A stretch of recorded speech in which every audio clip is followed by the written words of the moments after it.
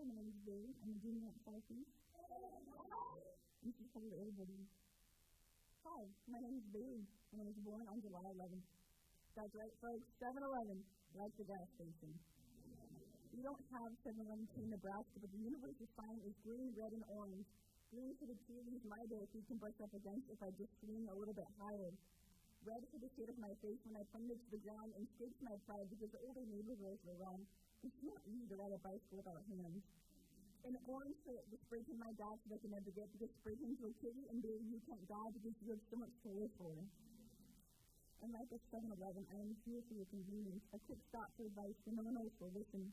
The spring machine that works out there to deliver you your favorite great test baby with a little spiraling straw.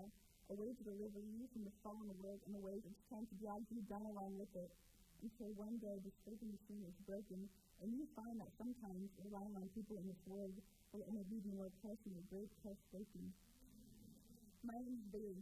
Which means bailiff. He is a person who maintains order in a courtroom and manages things, but quite frankly, I could hardly manage myself.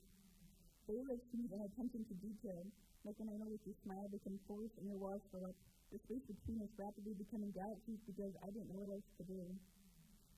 Bailiffs need to be strong and powerful, not caring about what other people think, but I fear that I wouldn't be able to distinguish my emotions from the emotions I was trying to control.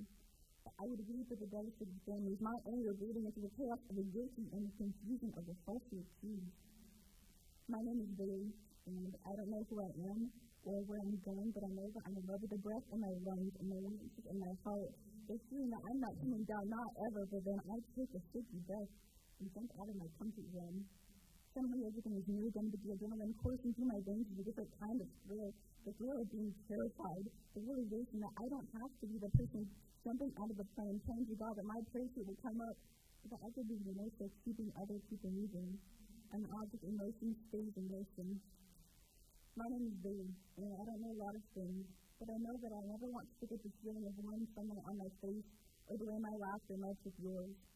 I know that I like smelling candles and dancing to reggae music, and I know that riding your bike with no hands just takes a little practice. My name is Bailey, and I don't know who I am or where I'm going, but I know that I'm A1 and that my feet haven't touched the ground yet. And who knows, maybe we never will.